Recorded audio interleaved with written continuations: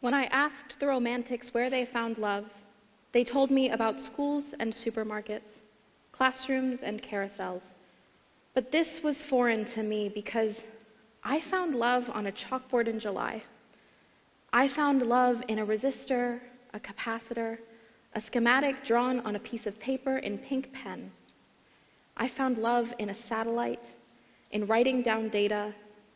I found love with 23 girls who built dreams and stories with me, who will always cherish me, and I will always cherish them. Because I found love with them in a resistor, a capacitor, in a circuit, and on a chalkboard in July. I wrote this poem when I was 15 years old, and I had decided that I wanted to be an engineer. It was August 21st, 2017, at 1 o'clock on a Monday afternoon, and it was my very first day of the 11th grade. My first day of a pre college program where I would spend the next two years living on campus taking college courses. Going in, we had to declare a major, and the one that I had declared was Space Systems Engineering, which was ambitious to say the least. I walked in to my very first class, 1 o'clock on a Monday, and I sat down at my desk, front row on the left. I got out my notebook and my pencils and my erasers.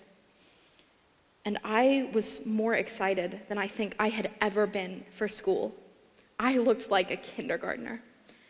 And the professor walked in and he set his books down and he scanned the room and he told us that this was an electronic processes class and that there were too many women in there. The first time that I went into his office hours to ask him a question about the homework, he told me he knew that this technical stuff could be difficult for us women to process, and that if I wanted to switch into an easier field like nursing or teaching, he'd suggest I do that sooner rather than later so as not to waste anybody's time. I was shocked and I was heartbroken. But I learned really quickly that this was not an uncommon experience. The Society of Women in Engineering ran the numbers for us from 2018. In a first year engineering class, 30% of students are women. It's about 10 in a class of 30. But over the course of their university education, 32% of women switch out of STEM programs, which leaves us with 7 in 30. And while 20% of engineering degrees are awarded to women, only 13% of people working in industry identify as female, which leaves us with 4 in 30, less than half of the original number that we started with.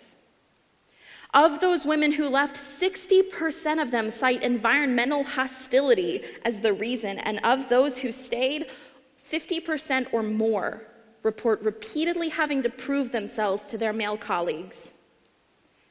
Some work environments can be really great, and I have experienced those firsthand but some are not. More than several times, I have been belittled, dismissed, talked down to, talked over, and sometimes not talked to at all.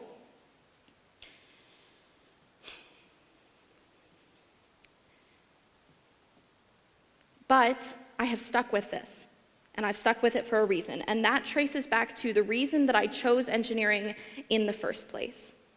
See, it was the summer of 2017, the summer before I went to the pre college program, before I had chosen space systems as my major. At that point, I really didn't know what engineering was, and I had planned on going through as a neuropsychology major and studying music education once I got to what I liked to call big girl college. But I also had nothing to do for the summer. So my parents suggested that I apply to this week long space systems engineering camp for young women.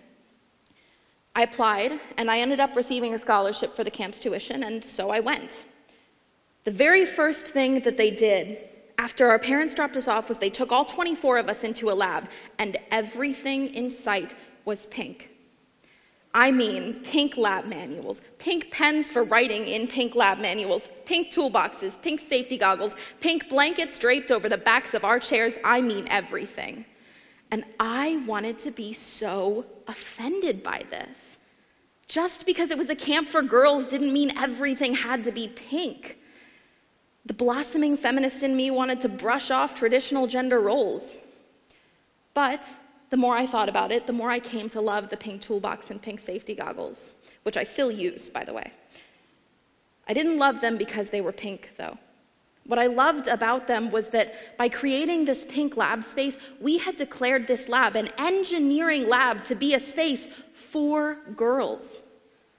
A lot of times I'll catch myself saying, I'm a woman, but I'm an engineer. By creating this pink lab space, they had said, hey, we're women and we're engineers.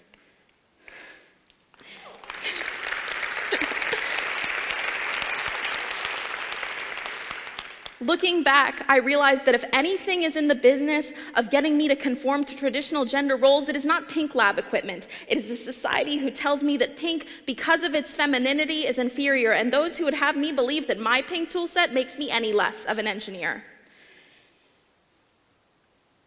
They took us into that lab for the very first time, that lab that I have now grown to love so much. And the director of the camp, who was also the instructor, sat us down and she said to us something that I will never forget and that I carry with me to this day. Your voice is your power. You control your life, and if anything you encounter isn't fair, you speak up for yourself. You speak up for yourself because you are worth it. Feel your emotions, even if they're big, and even if other people tell you that they are unreasonable. Feel them and speak up for what is not fair. You have made it this far in your life, and that in and of itself is a success. You are successful because you are here. At that point, I knew that I had not just walked into some random summer camp. I knew that this would affect me for the rest of my life. By the end of the day, I had learned how to breadboard and I had built my first circuit. By the middle of the week, I had learned how to solder, and I had built and launched a satellite.